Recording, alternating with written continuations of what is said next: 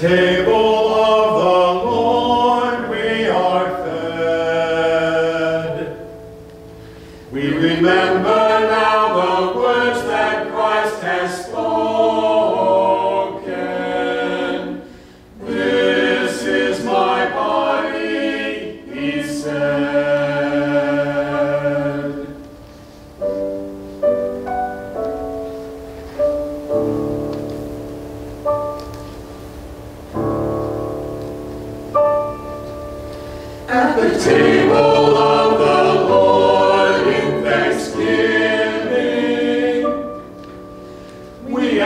to drink the